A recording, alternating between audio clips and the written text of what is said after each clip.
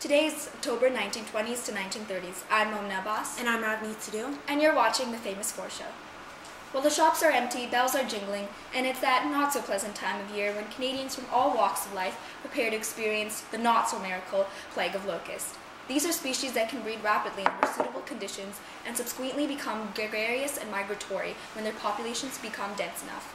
Say what? Besides the fact that dust bowls are left behind, locusts are known to produce toxins that render them inedible and may cause a severe skin reaction in sunlight. This is why God invented long johns. Life sucks, get a toque, embrace your Canadianness. I mean, we are the true note strong and free. So, in other onions, Meighen was just voted back into Parliament as Prime Minister. But apparently, we just can't get enough of King. I mean, the guy's always peeking around the corner, waiting to come back. Meighen only lasted three days before King demolished him with his majority Liberal government. I mean, really, Meighen?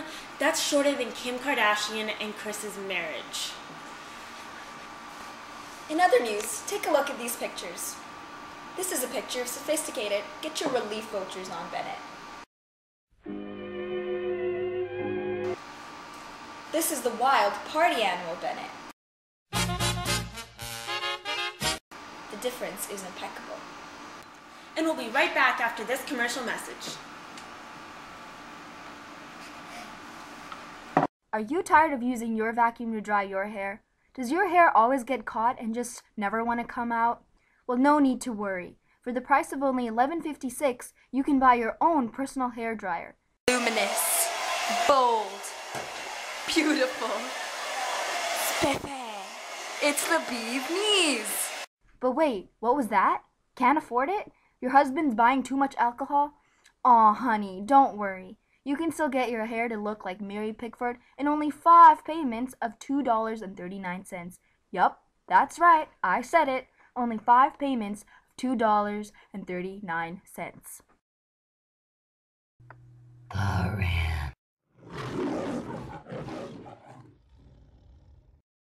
The Byng King crisis. The Liberals won a minority government in the 1925 election, they were caught in a political scandal that shook the nation. Some of the Liberal politicians have been caught smuggling alcohol into the United States. Now, with the intensity of prohibition law, Prime Minister King was terrified that there would be a vote of non-confidence. So he asked Governor General Lord Byng to call an election. Byng denied the request, and for two reasons.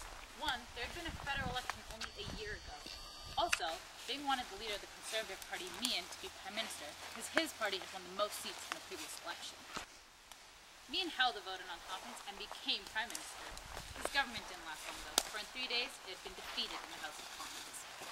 Now Byng had no choice but to call an election. The 1926 election showed what a clever politician King was. In his speeches, he would talk about how Byng's refusal to call the election earlier was ignoring the Canadian wishes. How could an unelected British official tell the Canadian Prime Minister what to do? The people forgetting about the scandal and listening to King's appeal, he returned to office once again, and this time with the majority government. We'll be back after this commercial. Morning, man. Voting today? Yep, for Meighen. Go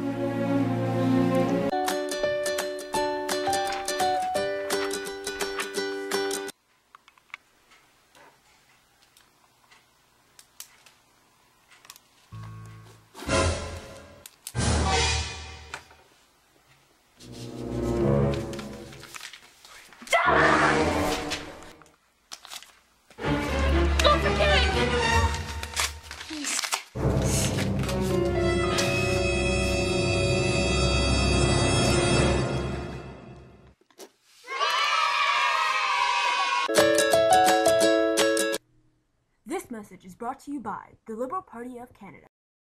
Photo challenge, photo challenge, photo challenge, photo challenge. Today's photo challenge is about Byng. Byng isn't Canadian, wasn't even elected, and still thinks he has more authority than the Prime Minister of Canada. This is how many people view him as an alien. The second picture, Byng thinking that he can rule our country. But this picture clearly shows that he can't even bathe himself. So, Byng has short hair, is bad mouth, and is always trying to flap his immature wings.